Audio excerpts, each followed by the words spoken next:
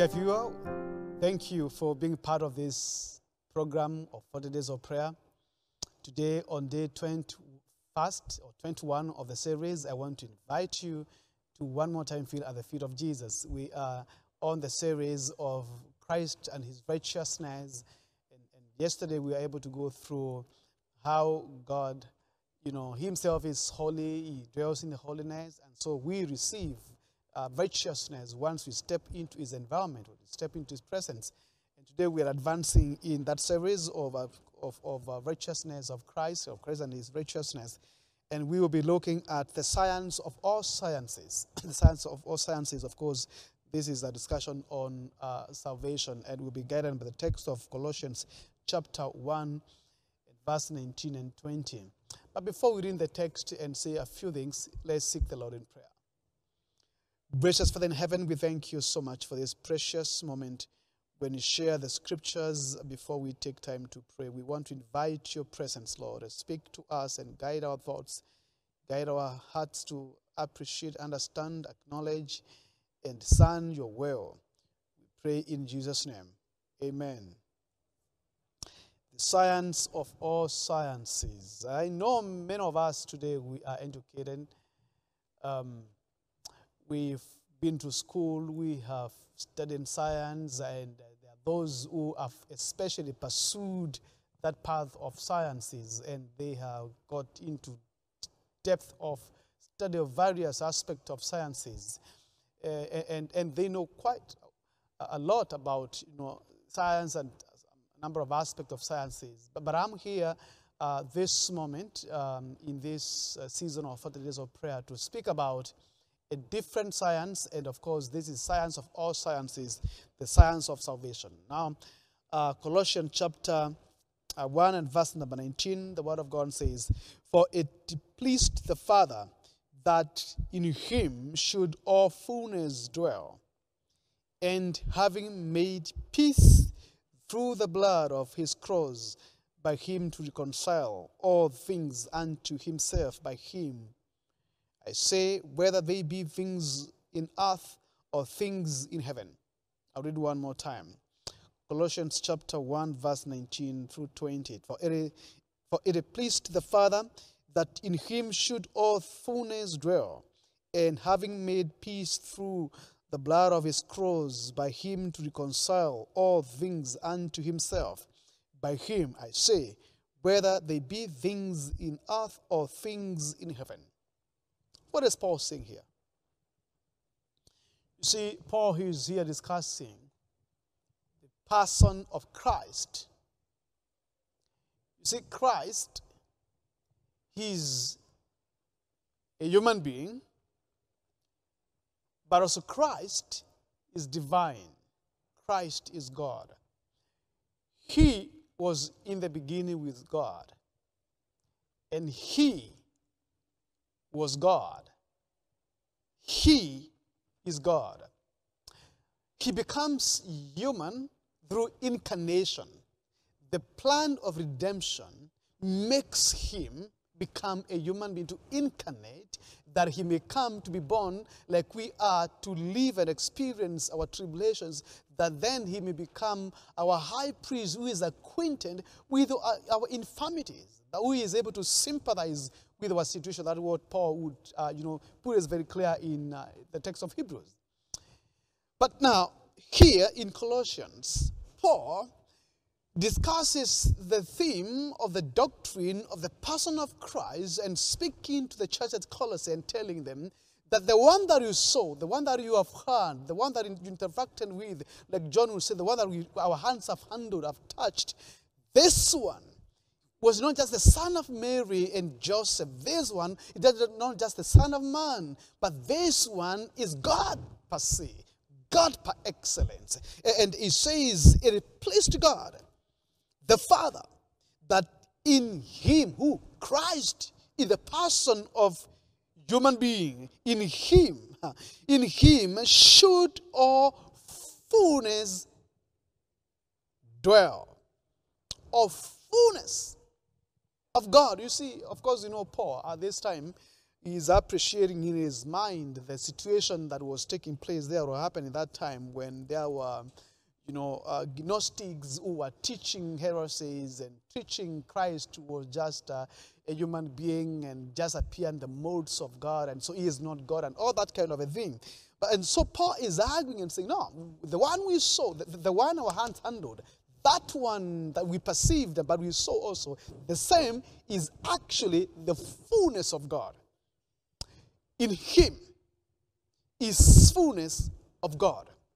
And in verse number 20 says, And having made peace through the blood of his cross, his cross rather, by him to reconcile all things unto himself, by him, I say, whether they be things in earth or things in heaven, Christ came because we had parted way with God. He came to reconcile us. Christ came because there was a conflict between us and God. And Christ came to reconcile us together with God. And so for him to reconcile us, he had to become like one of us. So he incarnated. He was, he was subordinated that he may become lesser than God, to assume the human body that he may be the savior of humanity. Now, when we have interacted with Christ as a human being, then we tend to think he's just a mere being, he's just a mere human being. But then we appreciate that Paul is know, taking us from the level of mere understanding of Jesus, the son of Mary and Joseph, the man who walked through the dead, uh, parts of Palestine, to the one who came from heaven, the one who was before the world came to be, the one who in the beginning was the word in the scripture. This one is the fullness of God. See, all things have been made through him and there's nothing that has been made that was made without him. And so we are looking at the depth of the science of salvation. How one who is God then can incarnate and become a human being. One who is eternal, existing without a beginning or an end, then uh, could becomes, becomes, reduces and empties himself of all that that made him God and then be born as a human being and actually lower than all other human beings. And how that kind of a death, and of, of course, ultimate death on the cross, becomes the means and the perfect means of salvation.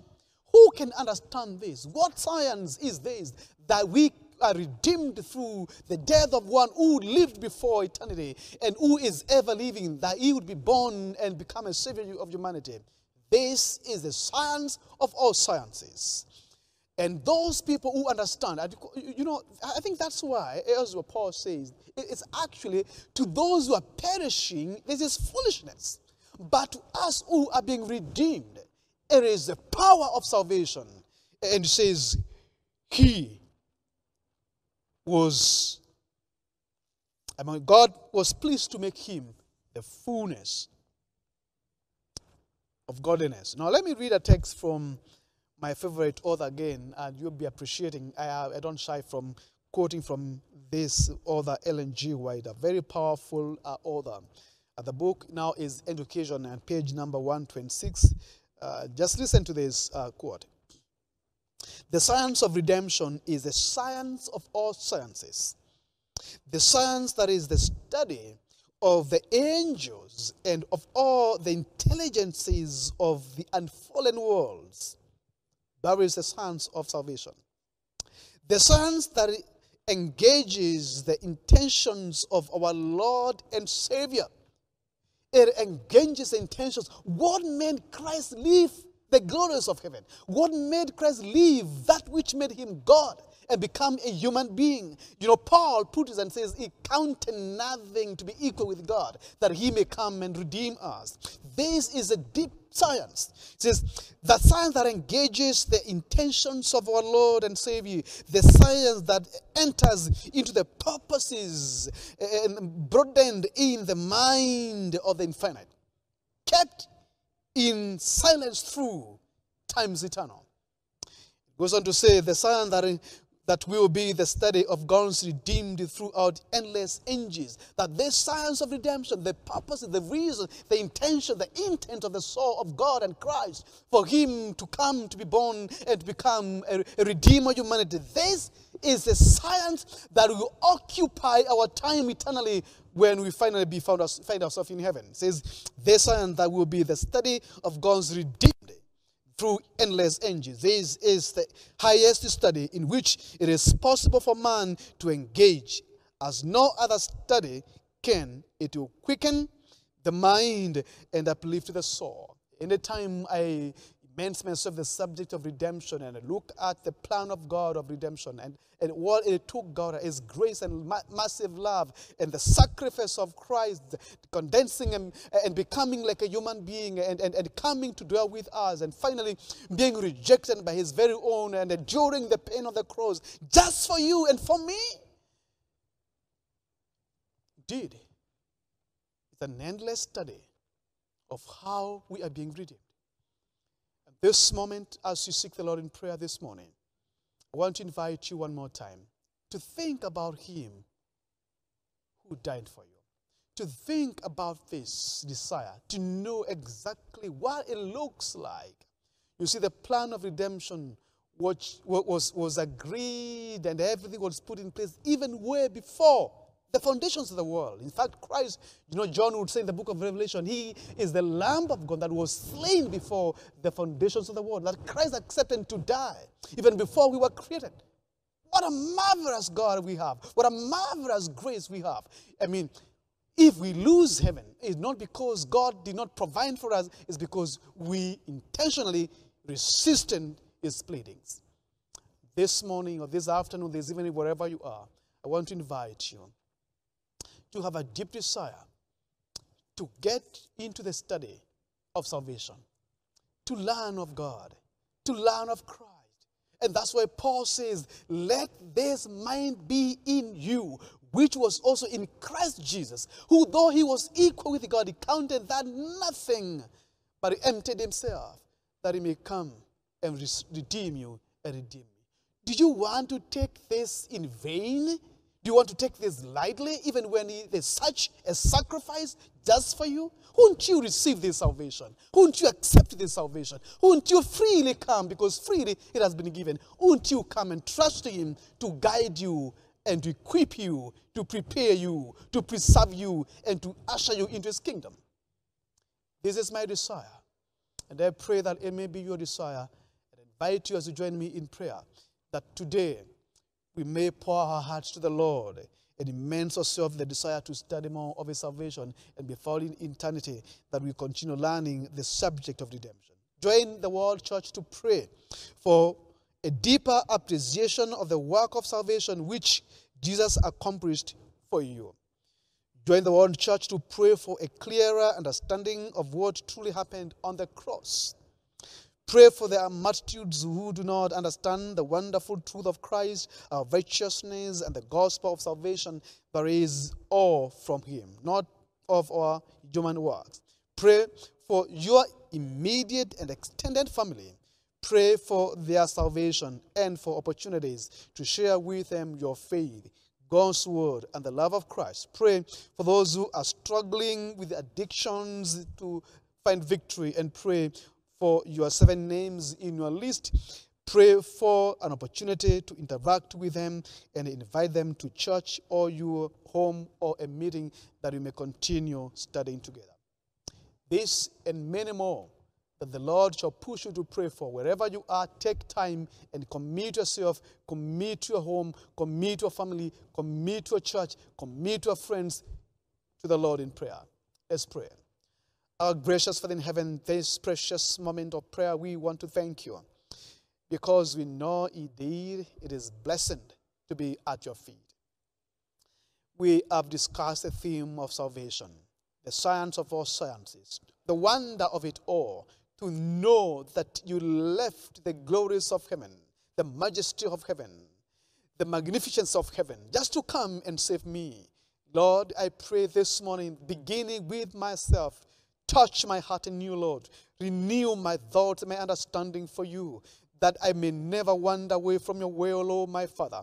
But you shall arrest me and imprison me in your righteousness. And I pray, Lord, that my viewer may have same desire, that we may seek to know you, the only true God and Jesus Christ whom you sent, that we may desire to know nothing but Him and Him crucified. The Lord, our walk with you will be a walk worthy the calling, and we shall be preserved for eternity. Lord, I'm praying today a very special way that you may plant in the hearts of my viewer a deep yearning for things of heaven, a deep yearning for things of God, a deep yearning for eternity, that we shall immerse ourselves in the subject of redemption. We shall seek glory after glory to know you better, Lord, and to see you as you are, to see you on the cross as you agonize there, Lord, the pain that you bear because of our sin, that we may be called your children. This morning, Lord, this afternoon, this evening, wherever we, my viewers are, we may surrender to you. We may say, Lord, we can't wait any longer in sin. We are surrendering our sinful ways to you, our tendencies to you. We need you to redeem us. We surrender to you. The Lord, you shall receive us in glory and equip us and prepare us for the second coming. We pray for the world church, Lord. Everyone, every single Adventist, wherever they are, Lord, we pray for them for revival of true godliness in these evil days and end times, that this church will be a light and a salt to this world. But we also pray not only for the Adventists, but for your people across the world. All people that you have redeemed, different churches, those who know you, those who don't know you, Lord. These are your children, these are your people. Reach out to them. Use us as who we have already known you, we have come to the light. Activate us, Lord, with your love that we may go out to share. We may go to tell them of your grace and of your love. And as you prepare us too, you may prepare them for eternity. Praying for the seven member list that you have, Lord, may you continue blessing these people connecting us more intentionally and deeply with them, that we may begin Bible studies that shall grow us spiritually and equip us and prepare us for the second coming. This and more we pray in Jesus' name. Amen. Thank you, my dear viewer, for waiting upon this program every day. You've been a blessing to me. I know I'm also a blessing to you. Pray for me as I pray for you. Remember to subscribe to our channel so that you can continue receiving these messages every single day. But also remember to share with as many friends as you can. You never know who needs this message now. Just click that button and share with as many as you can. See you tomorrow. Lord be with you.